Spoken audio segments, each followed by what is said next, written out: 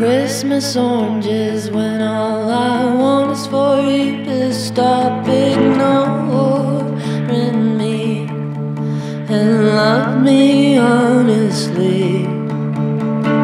I keep giving you good intentions when all you